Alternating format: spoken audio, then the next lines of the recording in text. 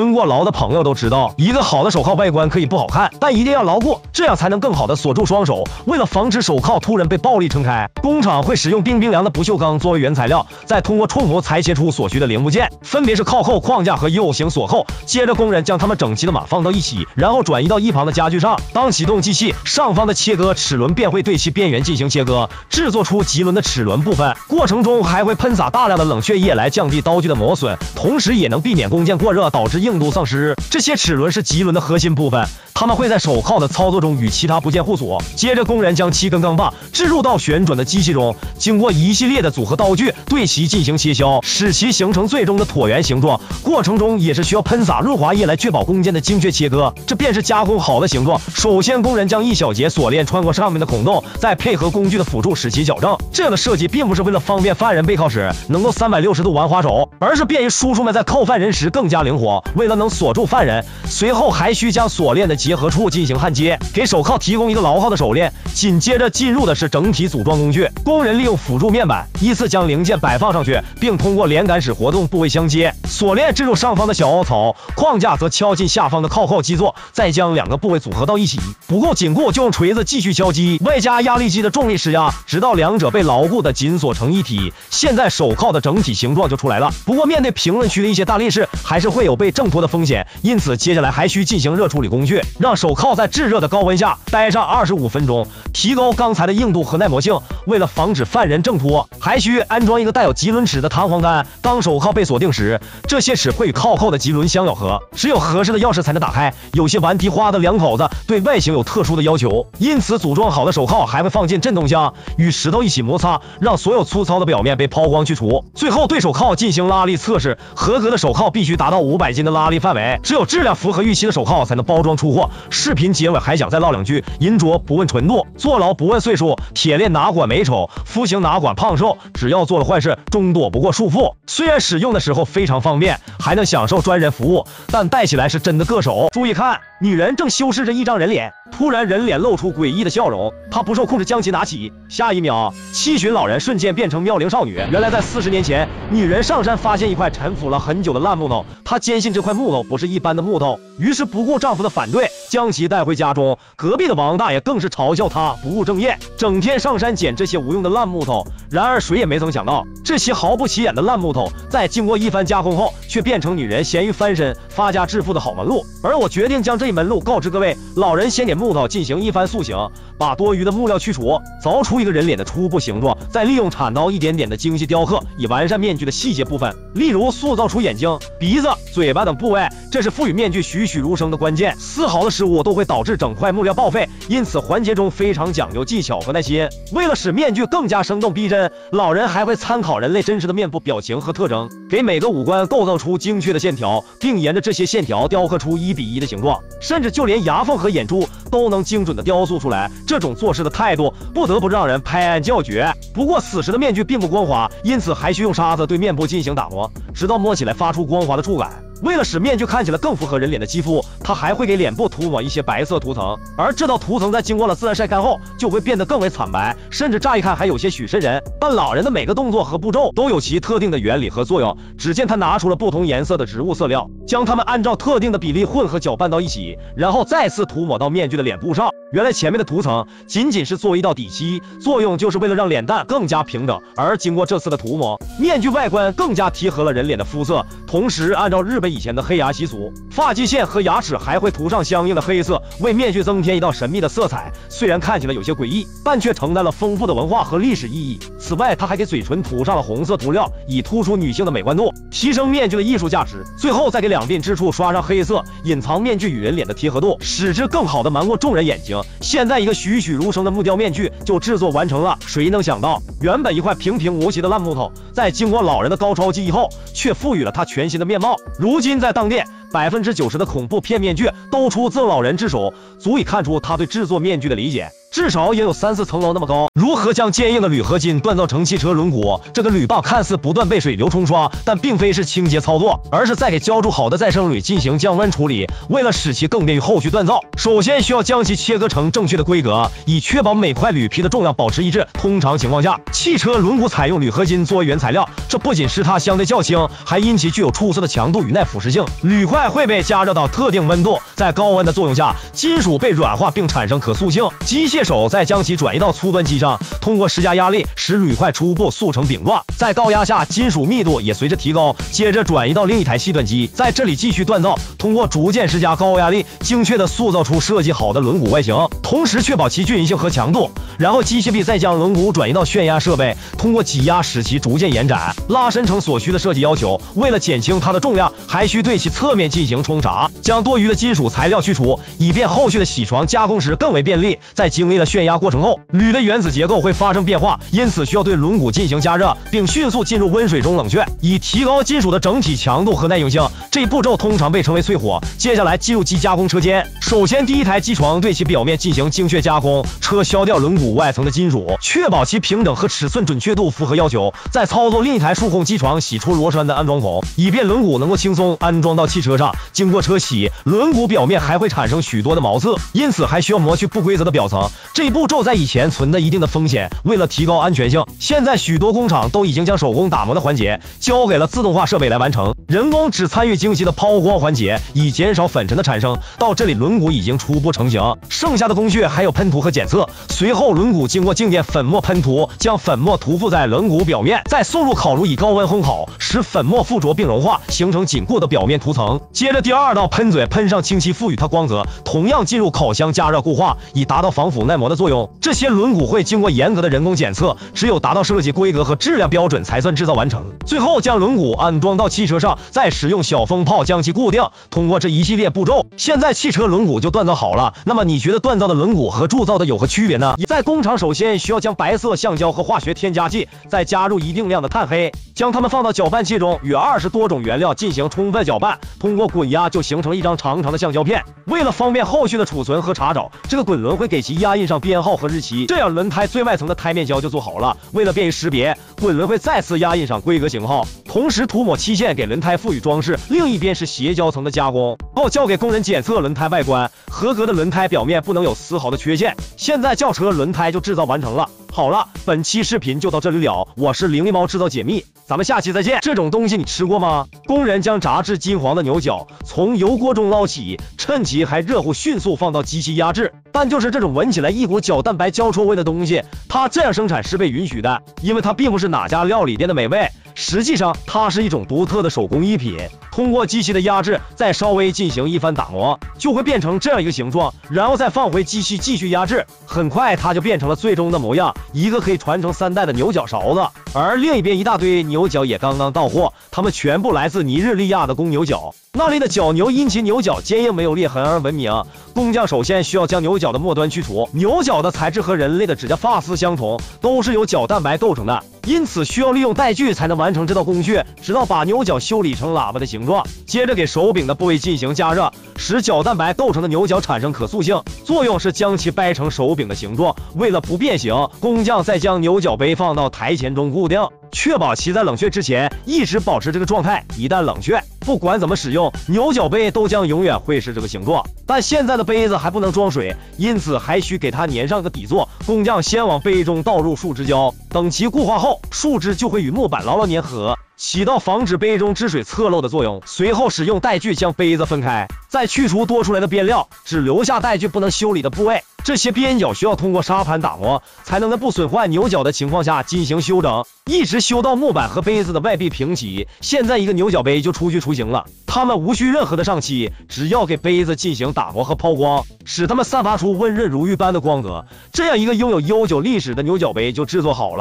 那么你觉得它的耐用性如何呢？眼前是巨型弹簧的制造过程，成型机上的心轴对钢棒进行转动，一个弹簧的基本形状就出来了。制造巨型弹簧的详细步骤始。于原材料的选择，工厂通常采用合金钢作为材料，这种高碳的钢材决定了弹簧的性能。首先，工人需要对钢材进行预热处理，其作用是消除内部应力，提高钢的可塑性，为下一步的成型做好准备。成型机是一台有着实心钢轴的车床，操作员将加热后的钢材固定到轴的一端，当启动机器，钢材就会逐渐被拧成螺旋的形状。它的尺寸取决于弹簧的用途。接着，工人利用分割设备对弹簧的两端进行切割，在高温的作用下，很快两端就变得平整如一。这不仅是为了提高弹簧的稳定性，还能确保其在受力时能够均匀分布在荷，从而提高弹簧的寿命和耐久性。随后来到一台旋转的研磨机里，机器同时对多个弹簧的末端进行研磨，把分割过程中产生的所有毛刺去除，使其达到预期的光滑度。紧接着将弹簧放入热炉重新加热，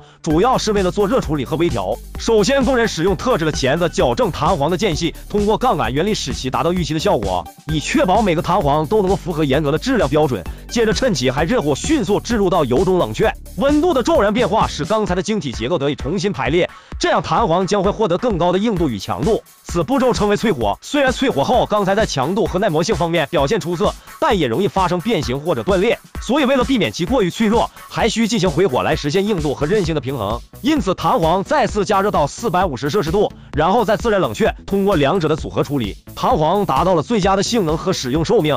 不过，现在的弹簧表面都是热处理时留下的氧化物，所以工人将其送入机器进行喷完处理，里面会有无数的金属颗粒高速冲击弹簧的表面，让所有锈蚀的杂质都被清理干净。出来后的弹簧恍如焕发了第二春。接着，工人对制造好的弹簧进行外观检查，确保其没有明显的缺陷、变形或者损伤等问题，以及弹簧的直径、长度、线径和圈数。这些都要确保其在允许的公差范围内。检测的环节很多，但弹簧力和硬度的测试尤其重要。设备通常通过施加一定的力量，测量弹簧的变形量，只有符合标准的弹簧才算合格。最后给测试完成的弹簧淋上润滑油。现在这些弹簧就可以去完成它的重任了。工人小心翼翼地将一根铜管放入融化炉，在高温的作用下，很快铜管被融化成了一锅液体，其中还会按照特定的比例加入多种的物质元素。这是因为纯铜的硬度不够，所以需要制备合金。铜才能符合工业条件，这过程和炼钢类似。接着原材料通过模具挤出，使金属合金逐渐形成所需的形状，同时也能提高材料的密实性与强度。不过现在的铜柱还不适合加工，工厂还需将其分割成符合要求的规格。从切口的颜色不难分辨出，用这种金属制造轴承，强度方面肯定没得说。把切割好的合金铜柱推入电炉，很快金属就被加热到通红，其目的是使金属达到预期的温度，从而增加其可塑性，方便进行下一步的。挤压工序，挤压设备通常由一个锥形模具组成，内部有一个圆形的孔，通过压力将高温的金属挤压穿过孔洞，改变其截面形状和尺寸，形成一条高密度的无缝铜管。这条铜管的外径和壁厚是根据模具的设计来确定的。接着把两端不规则的管口切除，只留下中间没有缺陷的管身，然后通过输送来到另一台切割机，在这里铜管被分割成一个毛坯，每个毛坯都将会成为轴承的主体。根据润滑轴承的设计要求，工人会操作机床给坯身洗出多个小孔，为轴承的润滑和工作提供通道，便于塞入这些石墨颗粒。石墨颗粒在摩擦过程中会逐渐释放出润滑剂，形成均匀的润滑膜，能够减少金属表面的直接接触，从而提高轴承的工作效率和性能。这是自润滑轴承制造过程中的重要步骤。为了提高它的旋转精度和稳定性，工厂会操作车床对轴承的内外部切削，使镶嵌了石墨颗粒的内表面变得光滑平整。随后把加工好的轴承放进一个真空的反应釜，通过控制温度和压力，使润滑油渗透到导套材料的每一个微孔中，从而实现免维护、无需加油，达到自润滑的效果。与常见的滚珠轴承不一样，自润滑轴承在高负和低速运行的条件下，能够满足对耐久性和稳定性的更高需求。运行的时候声音和震动也更小些。最后对制造好的轴承进行多项检测，确保其质量和性能达到预期标准。现在合格的自润滑轴承就可以进入包装和交付阶段了。那么你有用过这样的轴承吗？能拴住海上巨无霸的锚链是怎么制造的？一台压弯机对钢柱进行压榨，一个六十公斤的链扣就基本成型了。制造它的详细步骤始于原材料的选择。青岛的这间工厂采用镇静钢作为原材料，这种钢材并不是说它很正经，而是指其含氧量极低、极高强度、高硬度和高韧性于一身的钢材。也只有这种金属制造出来的锚链，才能拴住十万吨级的海上巨无霸。首先需要把小腿粗细的镇静钢切割成统一的规格，再送入电炉做预热处理，上千度的高温。使其产生可塑性，为下一步的锻造做准备。预热好的钢坯会被放入巨大的锻造机内，然后上面的锻锤以每次千吨的重力，不断对钢坯进行反复的锻打。这不仅可以改变其形状，还能消除金属的内部疏松，从而改变其机械性能，以提高金属的强度与硬度。待其形状符合规格后，接着转移到另一边开始磨断。五吨重的击锤对其迅速锻压，金属瞬间产生塑性变形，成为一个半圆的形状。半圆会在收集矿里缓慢冷却，而一旁的铣床正在不断的啃咬着金属，制造出横荡的榫线结构。接着将两个半圆组装到一起，中间的位置再装上横挡，这样一个完整的肯特卸扣就制造出来了。是的，现在看到的还不是锚链的制造，它只是用来连接锚链的卸扣。由于属于工厂机密，所以有些步骤不能展示。接下来进入的才是最为精彩的正片环节。只见一根烧至通红的镇静钢被推进压弯机，上面的滚轮在对其一端施加巨大压力，迫使金属绕着轴心弯折，而压弯的幅度刚好是整根金属的二分之一。工人再将前面做好的锚链与其相接，扣入到相应的位置，并把另一端金属也压弯到位，使彼此之间紧锁到一起。这个步骤看似简单，但操作起来却非常复杂，因为每压弯好一个扣子，就要转移到旁边焊接，分别由设备两端的推力为其提供电极，而产生的高温使得中间的缝隙得以牢牢融合。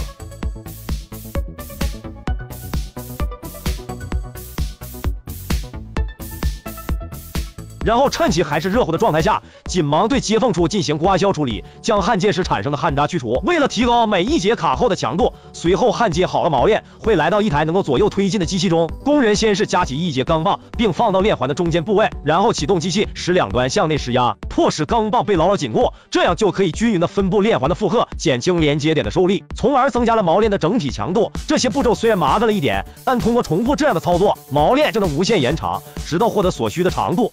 不过此时的锚链还达不到使用需求，经过一系列的加热，金属会存在内部应力，因此需要通过热处理去除，以提高锚链的强度和耐久性。接着再对其表面进行抛完处理，通过喷射金属颗粒去除残留的锈迹。最后要做的是测试成品的强度，合格的锚链必须达到预期的抗拉强度，每一个链环的重量就有六十公斤，相当于一个成年人的重量。据说用作航母的稳固锚链长度约为一千五百米，很多国家连这个锚链都制造不出来，而我国却提供了全世界百分之八十的锚链，不得不感叹中国不愧是工业强国啊！那些被你喝完的饮料罐究竟去哪里了？有没有想过，在某一天，他们可能会重新回到你的手中？眼前的废罐子来自城市的各个角落，它们提前被压缩成紧凑的块状，然后运输到工厂，首先将其送入自动化的破碎机中分解，以便于接下来的筛选处理。这会通过三个步骤来完成。第一道工序进入的是磁性。分离设备上方的强磁负责将带有磁性的废铁吸附并去除。其次进入风力分拣机，机器使用气流将较轻的异物去除，包括那些你平时塞进去的烟头。再借助光学分拣设备去掉任何残留的杂质，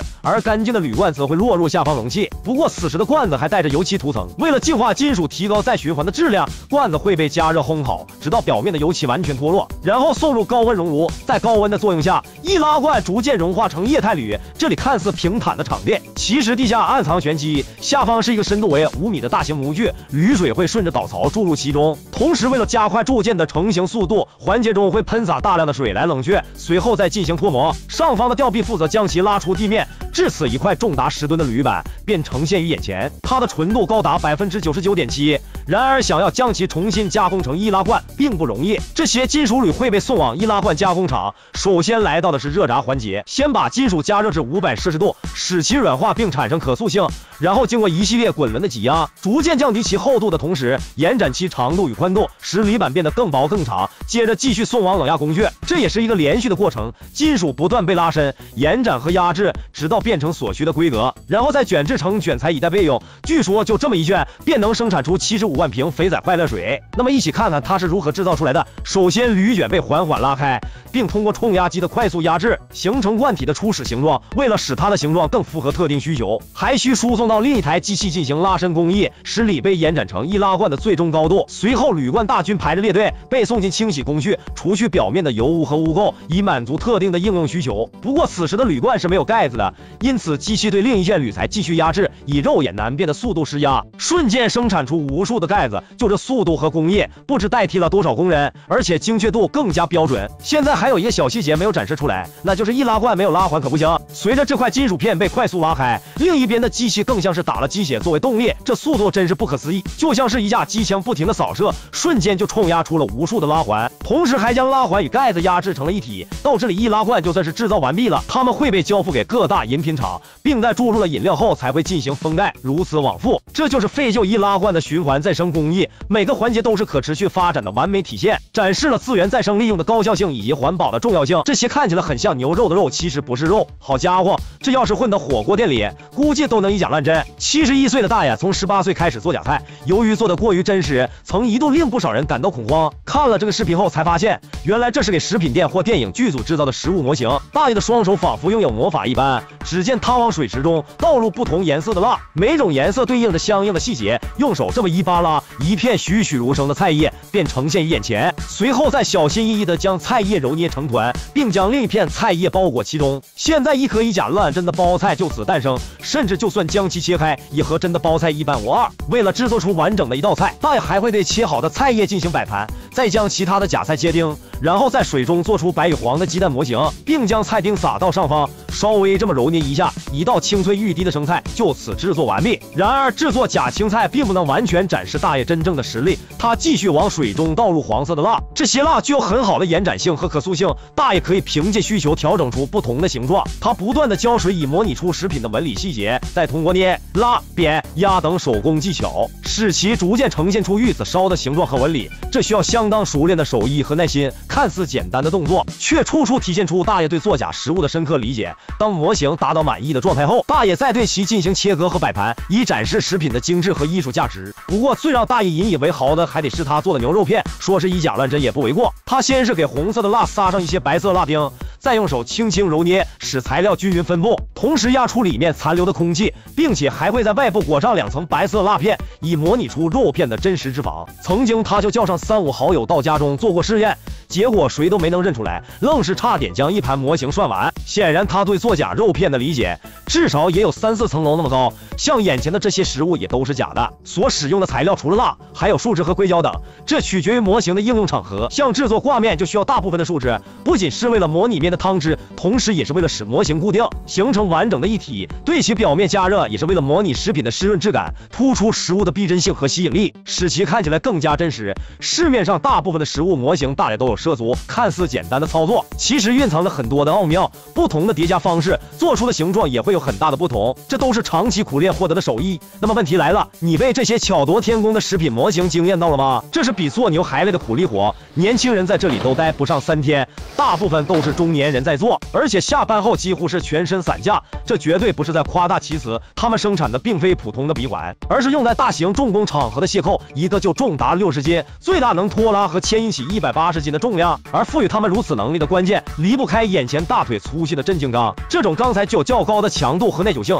可以降低弓箭的拉拔脆性。首先需要将其切成合适的长度，并通过热炉升温到一千二百摄氏度，让金属软化以便锻造。接着加热的钢坯被放入巨大的锻造机内，锻。锤以每次五千吨的压力，不断对钢坯反复进行锻打，每一锤下来，仿佛大地都在颤抖。而这顿操作不仅能改变其形状，同时还能减少金属中的内部缺陷，以增加金属的强度与硬度。就这样，钢坯犹如面团一样被肆意揉捏，在测量达到了精确规格后，再由一辆配有大型钳子的设备将其转移到一旁冷却，然后再次加热到一千二百摄氏度。整个加热过程大概需要四个小时。趁着这个间隙，工人们开始着手安装冲压平台。由于卸扣模具过于沉重，所以。环节中需要配合叉车才能安装到位。即便如此，这也是一个非常耗费体力的工作。光是一个螺母就有二十二毫米，将其拧紧需要消耗莫大的体力。工人们都要咬着牙竭尽全力才能组装好。而安装好一个模具，往往就过去了三四个小时。当然，这个时候钢坯也预热好了，但是此时的钢坯还不能马上热锻成型。成型之前，他们先要来到另一台压弯机。在这里，机器会施加巨大的重力，先将一个卸扣的基本形状压制出来。而这一步骤也需众人配合默契，因为环节中会产生大量的氧化物，众人要做的就是将其清理掉。过程中伴随着高温与风险，一般人都胜任不了这份工作。很多年轻人奔着高薪前往赴任，但往往待不上两天就提桶跑路了。如果肩上没有千斤担，谁也不想干这份工作。只希望他们都能有个高温补贴吧。等卸扣的雏形压制好后，另一边的热锻成型机早已严阵以待，数以千吨的锻模对其施加巨。大的压力，金属瞬间产生塑性变形，并逐渐符合模具内部的凹槽。这个环节通常会反复进行，直到获得所需的形状，然后喷洒脱模剂，准备脱模处理，并通过杠杆原理使其松动，再用钳子将其取出。虽然此时的卸扣具备了初始形状，不过磨断后避免不了留下一些边料，因此还需转移到另一台机器去除。在这个冲压过程中，巨大的刀头对其冲扎，边缘的废料瞬间脱除，同时垫上两块木料。避免压出时弓箭损伤，卸扣会掉落到下方。工人在将其取出，而裁剪出来的余料则被收集。等卸扣自然冷却后，就可以清晰看到上面的压印，标注的是最高一百五十吨承重力，足以吊起一千个三百斤的小媳妇。不过此时的卸扣还只是半成品，接下来进入的是机加工车间。坚硬的碳钢材料通常需要金刚石钻头才能对其加工。随着钻孔机床的运作，内部的冷却液肆意飞溅，很快一个螺栓连接孔就钻好了。经过机修，卸扣的表面还会产生许多的毛色，因此还要磨去不规则的表层。这步骤也只能人工来完成。只因想要将其打磨得更加精细，到这里卸扣的整体形状就出来了，但还不符合工业的应用需求。下一步需要对它们进行热处理。看似烤全牛的炉子能让你的牛肉快速焦糊，所以这会伴随着一定的风险。卸扣们尽情享受着火焰的沐浴，再迅速置入到油中淬火。温度的骤然变化使金属的晶体结构得以重新排列，从而提高卸扣的硬度与耐磨性。然而韧性也会随着降低，因此只需要将蟹扣送入回火炉进行回火处理。这将使其加热到二百摄氏度，然后再自然冷却。通过回火可以消除刚才的内应力，使其达到硬中带韧的效果。最后做好的蟹扣被进入价值十万美刀的新池中，炙热的新液为其表面附上一层银色光泽。这样做不仅可以提高蟹扣的耐腐蚀性，还能大大的延长其使用寿命。就此，一组看似牛魔王鼻环的蟹扣就制造好了。看完韩国制造佛钟的过程，才发现其技术丝毫不弱于国内。虽然没有自动化的流水线，但同样蕴含着不可思议的工匠之魂。眼前是一间拥有七十年历史的佛钟铸造厂，铸造一个巨型佛钟，通常需要内蒙和外模来配合完成。首先，师傅使用铁线将钢筋捆扎成一人鱼高的钢筋笼，这个笼子将为后续浇筑时提供必要的结构支撑。接着，在笼子外围绕上一片金属挡板，并用大力钳使其固定。师傅再操作铁铲将沙子填充到骨架内部，为内模提供一个实心的结构，避免钢筋在高温铸造时发生形变。原理跟做水泥工浇房柱相似，但需要不停的夯实才能挤出内部的空气，以达到所需的密实性和强度。直到沙子覆盖住整个笼子，师傅再给中央的部位开出一个小孔，以便待会对其进行烘烤。然后将加固的铁线剪断，好让围绕在外侧的挡板自行脱落。然而此时的内膜还不具备佛钟的内部形状，因此师傅会拿了一个特制的圆规工具，通过一边铲除多余的沙子，一边往缝拉动上面的圆规，让内膜表面的尺寸被精确刮削。这不仅能让佛钟的内部圆度符合规格，还可以使所产生的声音和共振达到标准。为了增加内膜的强度，他们还会给魔身打入无数的钉子。完成后将工具拆除，并给中央孔洞放入两块铁栏，再操作烤枪点燃一堆煤炭，等它们完全燃烧，然后放入到内膜的孔洞中。一堆不够就再加一袋。这一段操作是为了使内膜结构得以完全硬化。至此，内膜的制造告一段落。另一边正在制造的是佛钟外膜，而外膜是由多块塑胶模板拓印所组成。师傅首先将所需的文字粘附到模板上，后续这些文字和图案就会以凸槽的方式呈现在外膜内侧，然后再拓印到佛钟表面。接着就是实现这种神奇工艺的操作过程：贴满周身文字的胶膜被套上袋子，外面再套一个圆形金属挡板，并三百六十度确保其直径一致。同样也会给其中倒入沙子。不同的是，这里会倒在挡板和文字之间。师傅不断的将沙压实，让文字更好的拓印到砂膜的内壁上。随着一盆盆沙子倒入其中，很快第一层挡板就被塞满了。然后再把第二层挡板接上。为了防止沙子溢出，需要通过螺栓才能将挡板加固。同时，为了防止沙子掉到模具内部，胶膜的顶部也会盖上盖子。同样的动作，一盆盆不要钱的沙子被倒入其中，直到缝隙被完全填充压实，然后再涂抹一层黑色的防粘粉末，以便拆模时更加轻松。此外，还会在上方放上一个沙心模型，模型内部呈现的是真龙形状。出模后，它将会成为佛中的吊顶。就这样，挡板被一层层组装，同时填充沙子和石头进行压实，直到整个龙头被沙子完全覆盖。最后将上面的铁管拆除，留下一个个进料口和出气孔。接下来将龙头模具与魔身分离，龙头被翻转放置一旁，而魔身则来到师傅上方，甚至将师傅牢牢套住。但师傅一点都不慌，他将紧绳器的钩子分别连接到两端，然后不断的按压绞盘，通过施加拉力，很快四周的塑胶模板就被轻松拆除，而外膜内部则成功拓印上了各种种凹槽。当扣掉这些材料，呈现眼前的便是一个个文字与符号。至于其中的禅意，少有人懂。现在就可以将外膜和内膜组合到一起了。由于模具过于沉重，环节中需要吊装设备和经验丰富的师傅来执行，丝毫的误差都可能导致铸造出来的佛钟内壁厚度不一致，从而影响佛钟的音质。随着下模组装到位，吊顶的上模也紧随其后，使之成为一个整体，并通过螺栓加以固定。随后进入的就是浇铸环节，炽热的铜水顺着导槽倾流而下，瞬间充满整个铸模空腔，并浸透到文字凹槽的每一个缝隙，确保铸件内部复杂的结构得以完整成型。在经过漫长的冷却后，师傅拆开挡板，敲碎砂膜，并锯断入料通道，然后吊起巨大的佛钟批形，顷刻之间，一个半成品便呈现于眼前。然而此刻的钟并没有完全展露出来，内膜也还嵌在其中。当下要做的就是去除残留的沙子，以及取出嵌在内部的钢筋内膜。师傅找来了一根腰身粗细的木锤，前后两端分别绑上一条牛绳，然后五人一起控制这个木锤，巨大的冲撞力作用到钟身上，通过震动使松弛的沙子脱落，在一阵阵的撞击震动下，最终内膜也可以完成脱除。当弥漫灰尘的室内清明后，映入眼帘的是一个栩栩如生的龙顶。再使用压缩空气对钟的表面喷射，进一步去除那些顽固的沙子，让整个钟身完全展露出来。之后再用角磨机对表面进行打磨，使凹凸不平的地方变得光滑平整，同时呈现出铜合金原有的金色光泽。再给精修好的佛钟附上复古图腾，最后做好的佛钟就可以进行交付了。它们通常会挂在佛寺的中央位置，以便于敲钟的时候更加轻松。显然，画面里的佛钟全是中文，据说是国内富豪在此定制的，其钟声悠远，沉稳悠长。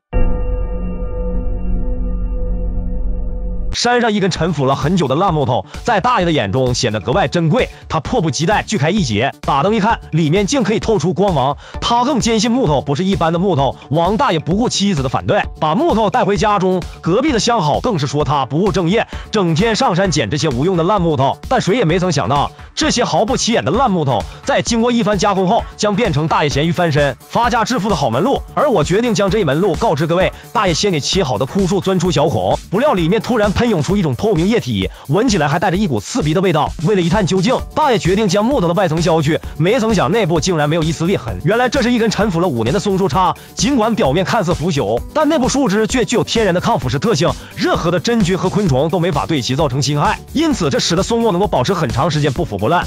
接着，大爷将一根涂有胶水的铜管塞入小孔内，待其干燥后，再转移到机床上加工。通过铁环将两根木料隔开，它们将会被加工成圆珠笔的笔杆部分。在机器的协助下，木料的外层逐渐被削除，露出高密度的淡棕色木料。为了使表面更加光滑，大爷还会使用砂纸对其打磨，同时更换纱布进行抛光。整个过程非常考验大爷的耐心，直到木料的表面变得光滑平整，然后他将木料取下，准备开始圆珠笔的组装工序。首先将笔尖置入到前端的。凹槽，并在工具的辅助下进行施压，使笔尖紧固到木料上。接着在另一根木料上安装笔帽，同样使用工具将其紧固。随后再给前端置入空心铁杆。通过画面可以看出，铁杆可以起到连接的作用，而木料则主要用作装饰。其余的部位也逐渐组装到位。这里包括一个铁环和作为书写的笔芯。看大爷这娴熟麻利的操作，他说年入百万日元，我深信不疑。而他的前身竟是一块烂木头。随着使用次数的增加，笔的表层将会被盘出温润如玉般的光泽。话说你。觉得它和塑胶做的普通圆珠笔有什么区别呢？究竟是智商税还是物有所值？百分之八十的年轻人都不知道这是啥玩意。看了它的内部结构和制造过程，神奇的会出乎你的意料。一般采用硬度较高的工具钢作为原材料，首先需要将其放进机器压榨，使之形成规格统一的板块，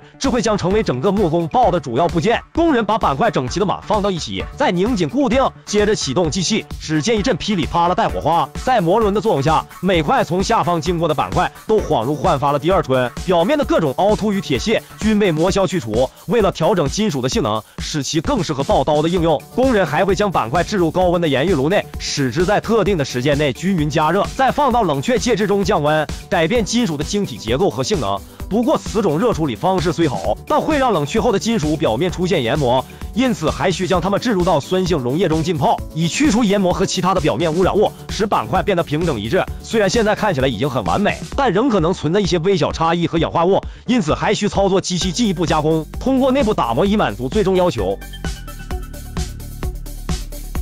为了便于识别。工人使用机器对其冲压，标记上产品的相关信息之后，再对边框进行抛光，使整片工件散发出金属的镍色光泽。接下来是刨刀的开封工序，通过机器磨轮的作用下，刨刀边缘一端逐渐尖锐，然后再由人工对其手工研磨。一把好刀够不够锋利，关键在于此，因为手工研磨不仅是为了去除锐角和毛边，最重要的是进一步提高它的锋利程度。接着给做好的刨刀附上一层透明油漆，这种液体通常是一种防锈剂或防腐蚀剂，然后再放入烤箱加热，在高温下保持一段时间，确保液体充分渗透并形成一层保护膜，以满足刨刀在存储和使用期间达到防腐蚀要求。最后是刨身的制造，首先他们使用机器开槽，再精确的磨削出刨刀的卡位，并交给经验丰富的老师傅继续修整，将摸起来所有不舒适的部位切除。然后给豹身安装一根金属销。当豹刀被置入到位时，再对紧固作用的钢片敲击，使彼此之间的缝隙越发紧密，这样豹刀就被牢牢紧固到了豹身上，最终形成完整的木工豹刀。现在无论是面对任何凹凸不平的木板，它都能帮你通通摆平。尽管电动打磨技术已经非常普及，但许多老师傅仍对这种简单的工具爱不释手。眼前这根实心的铝合金是制造军用手电筒的主要材料。由于军用设备要求高度精确，因此通常需要在机床上对对铝棒进行精密加工。在数控机床的精确控制下，旋转刀具逐渐削除铝棒的金属层，然后通过更换钻头将铝棒的内部挖空，以便安装电池和其他电子元件。为了能够拧上灯盖，刀具还会在弓箭上车削出外部螺纹。完成后，再将其转移到另一机床，对尾部继续加工。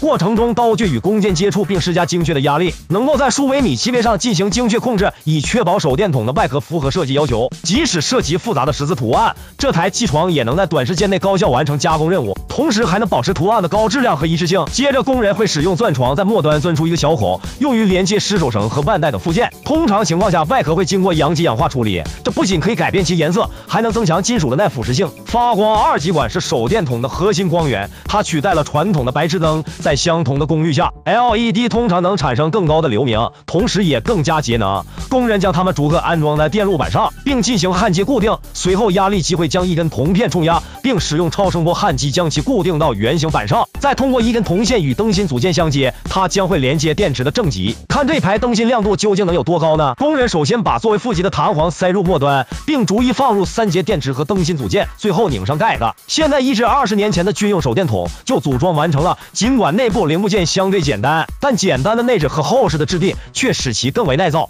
无论在军事任务还是户外探险中，它都是一款可靠的工具。那么你觉得这样一只手电实用性怎么样呢？为何一个水龙头动辄几百甚至上千元？这背后离不开眼前的这些原材料。看似昂贵的金元宝，其实是一块块铜锭。由于纯铜相对较软，容易变形和磨损，所以首先需要把铜锭放入熔炉中融化，再加入其他金属元素进行混合，制备出耐用性能更高的合金铜液。旁边的工人正快速的预热着模具，为接下来的。浇筑做好准备，根据水龙头的设计要求，工匠把对应的砂芯安装到模具内，砂芯与模具之间留有适当的间隙，能够让浇筑时金属形成砂芯的中空结构。一旦芯膜安装完毕，工匠就会打出一次量的铜水，倒进模具的浇铸口，液态铜瞬间填充了砂芯的空腔，逐渐冷却后便取得了水龙头的整体形状。不过此时的砂芯还留在粗坯内部，所以接着需要对它们进行分离。工人首先给每个框子放入两个实心铜柱，再将铁框移动到机器的下料口，然后合上盖子，在这里粗坯和铜柱一起转动。经过一阵噼里啪啦的碰撞和敲击，任何残留的砂膜碎屑都会掉落到机器的下方。工人负责将它们收集，以备下次使用。出来后的粗坯目测干净不少，但仍有一些粗糙，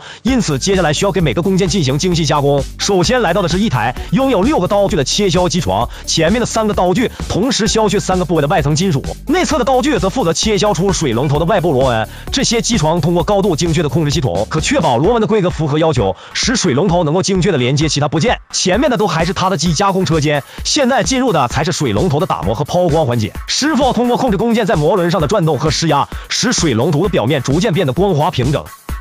虽然此时的水龙头看起来已经很完美，但制造进度也才完成了二分之一。为了增加它的硬度和耐腐蚀性，工厂还需通过电解作用将镍离子还原成金属镍，并将其镀在水龙头的表面，以及通过同样的方法镀上一层铬。其实刚开始的铜色是最好看的，不过为了更为耐用，才选择做的电镀，这比有些厂家说的纯铜却不知是生解镀的一层铜水好多了。随后进入的是组装工序，工人首先置入的是两个水龙头的阀芯，它是控制水流的重要组件，掌握着水流和开关的调节，同时安装阀芯盖对齐金锁。这通常需要风炮装置的配合才能更加高效，如此才能确保拥有良好的防漏水效果。紧接着安装的是控制水流的开关总成，为了让其牢固，打入的是一根五公分长的螺丝，并压入盖帽作为防护，再拧上连接喷嘴的出水口。最后经过检测，确保其能够正常运作后，现在整个水龙头就制造好了。虽然零件只有那么几个，但简单的内置却让它更为实用。那么你觉得这样一个水龙头多少预算比较合适呢？这么大的电机转子你有见过吗？如果放在过去几十年前，制造如此巨大的电机是属于机密的，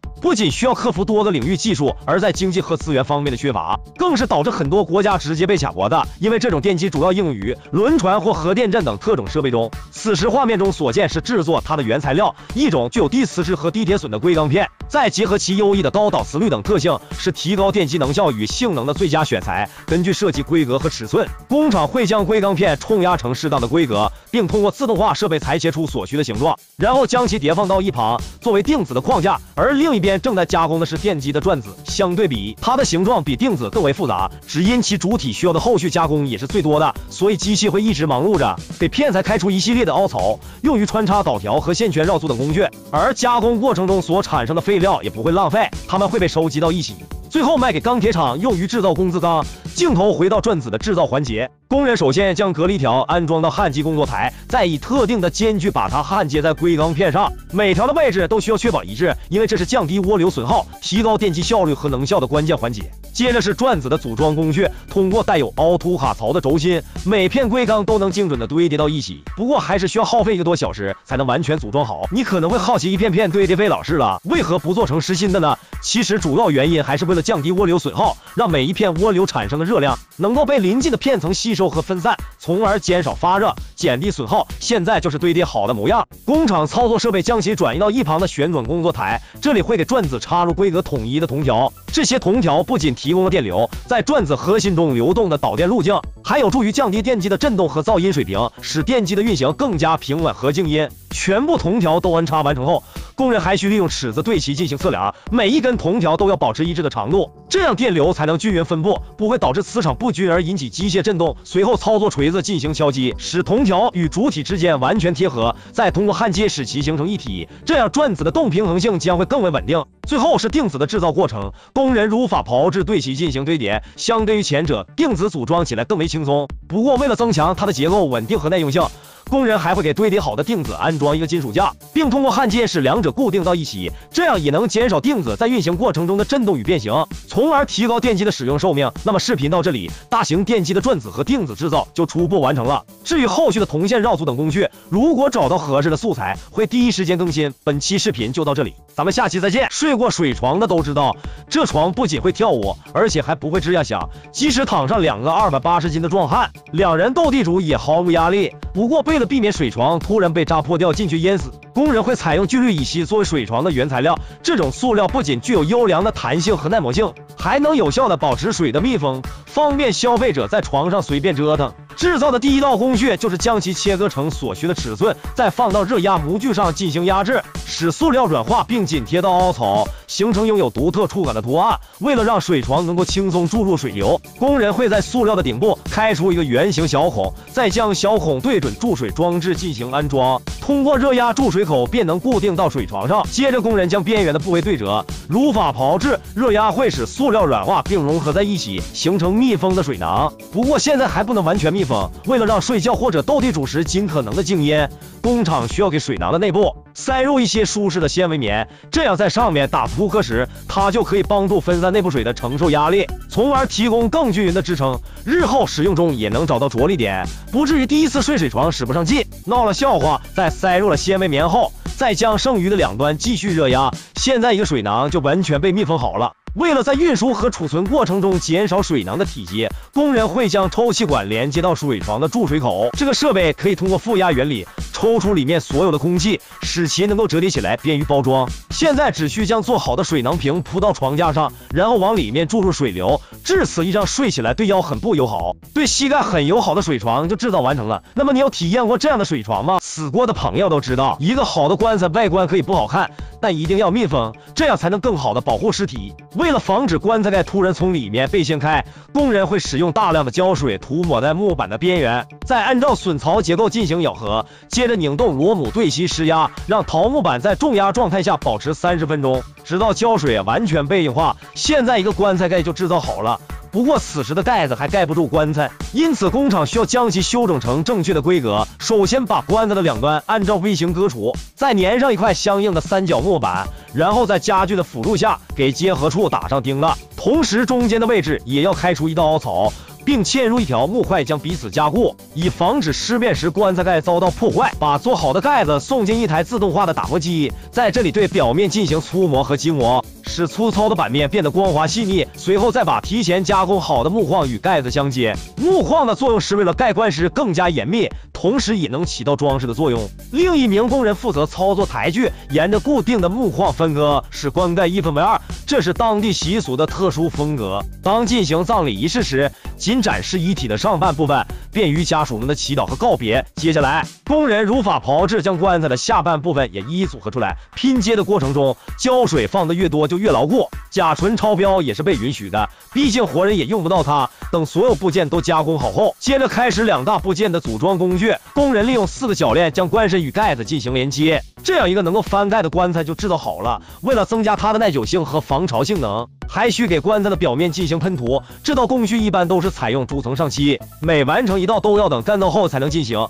最后喷上清漆，赋予棺材光滑的外表。根据个人爱好。工厂还会给棺材安装把手作为装饰，这道工序看起来很基础，其实真没用。现在的棺材睡起来不仅容易腰疼，还非常容易做噩梦，因此工人还要设置一个能够自由升降的软床。填充的东西通常使用一些纤维植物，然后再包裹一些柔软的绒布作为床垫，这样不仅睡起来香，不舒适，还能随时起来调节。自此，一个欧美版的棺材就制造完成了。那么你觉得这样的棺材住起来怎么样呢？